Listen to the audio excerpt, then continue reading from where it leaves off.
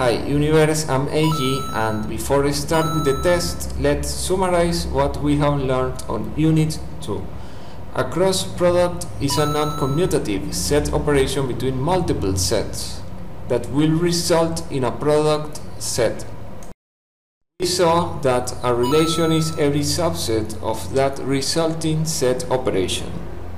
By swapping its components, we learn how to get an inverse relation. There are multiple options to graphically express a relation, like a math expression in a diagram, or like a directed graph with vertices and edges.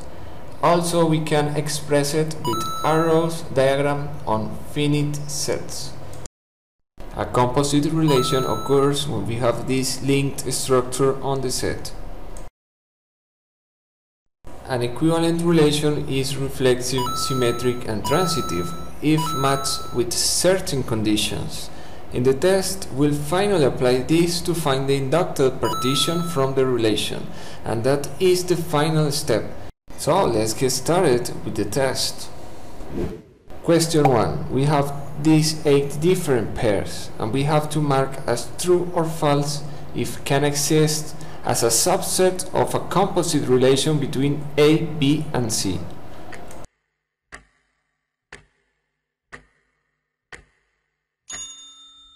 First, we must have all the composite relation possible elements at hand to compare. Exists a way to go from 1 to x, from 2 to y and from 2 to z. So these are the pairs who can exist in the composite relation.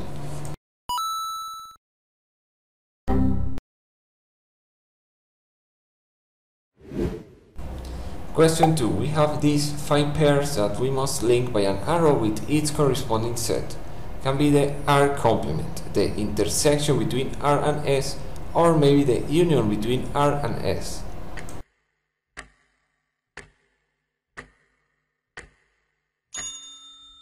First, let's have these three sets at hand to compare the union, the intersection and the complement respectively. Then, having all the information, we complete the arrow diagram.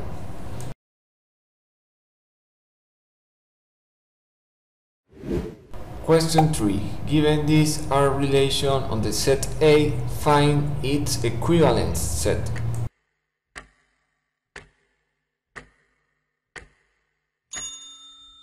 From its concept, we know that an equivalent relation is reflexive, symmetric and transitive but our given set has nothing about it.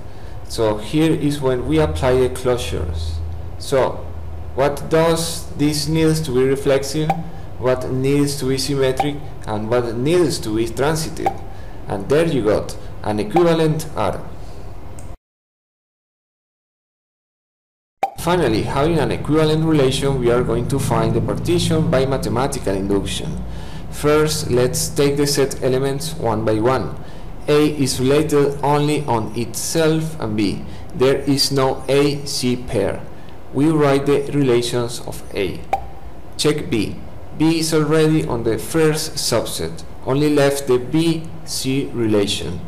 We write the B relations. And finally, C is related to itself, but is already on our partition. So this is all. We have found the partition induced on the set A by R we have finished the unit 2. If you want to learn from a more advanced test on this unit, check the link on the video description. Thank you very much for watching our video and see you on the unit 3.